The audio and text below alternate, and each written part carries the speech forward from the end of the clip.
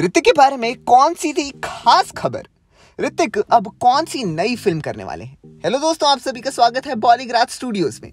कुछ दिनों पहले ये खबरें आ रही थी कि एक्टर ऋतिक रोशन फ़िल्म विक्रम वेदा में अब काम नहीं करेंगे। बता दें कि फ़िल्म को रिलायंस एंटरटेनमेंट और फ्राइडे फ़िल्म वर्क्स मिलकर बना रहे हैं। खबरों की माने तो ऋतिक इस फ़िल्म से जुड़े हैं और इसमें वो विजय सेतुपति का रोल निभाने जा रहे हैं। फ़िल्म तमिल की सुपरहिट मूवी विक्रम वेदा का हिंदी रीमेक है। फ़िल्म डिज्नी प्लस हॉटस्टार पर रिलीज़ की जाएगी और इसी के साथ ऋतिक का ये पहला ओटीटी डेब्यू होगा।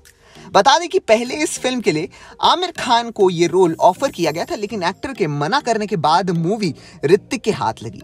फ़िल्म में ऋतिक धूम के बाद दूसरी बार विलन के रोल में दिखेंगे तो वहीं सैफ अली खान हीरो के रूप में नज़र आएँगे।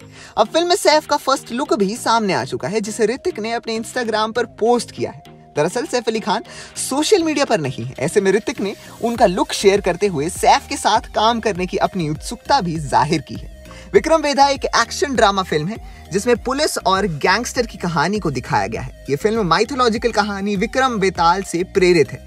फ़िल्म में ऋतिक को गैंगस्टर की भूमिका में देखा जाएगा, जबकि सैफ पुलिस ऑफिसर का किरदार निभा रहे हैं। ये 2017 में इसी नाम से रिलीज़ हुई सुपरहिट तमिल फ़िल्म की रीमेक है। लोगों को विक्रम वेदा का इंतज़ार है। बता दें कि इससे पहले 10 जनवरी को फ़िल्म के सेट से ऋतिक ने अपना पहला लुक शेयर किया था।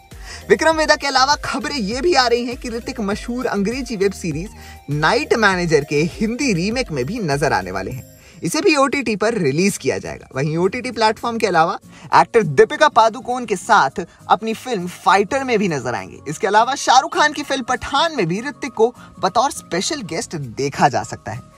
तो दोस्तों, आप कितने एक्साइटेड हैं ऋतिक रोशन को बड़े पर्दे पर देखने के लिए? अपने विचार हमारे साथ कमेंट सेक्शन में ज़रूर शेयर करें और देखते रहिए हमारा चैनल बॉलीग्राथ स्टूडियोज़